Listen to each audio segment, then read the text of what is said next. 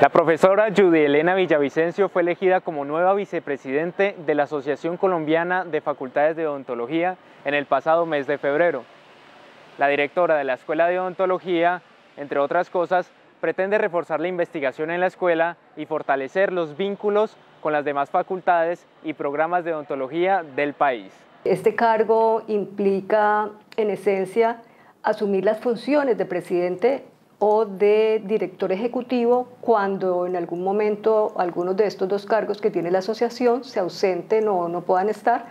y eh, digamos yo entro entonces a asumir estas funciones. Igual participo de las reuniones de consejo administrativo que se dan en un número de tres reuniones al año donde se trazan todas las,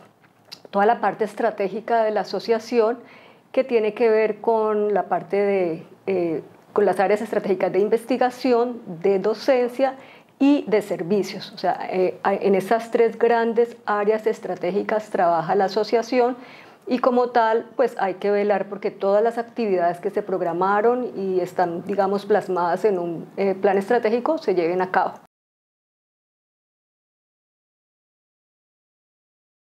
todo lo que tiene que ver con los exámenes Saber Pro, que la asociación, digamos, lo realiza en la disciplina de odontología, lógicamente el apoyo que se debe dar a, los aspectos investigativos en los programas de odontología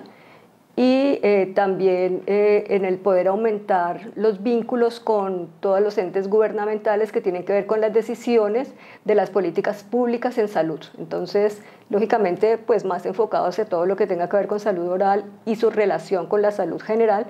sería uno de los, de los, digamos, uno de los aportes que quiero más enfatizar durante el periodo que esté como vicepresidenta.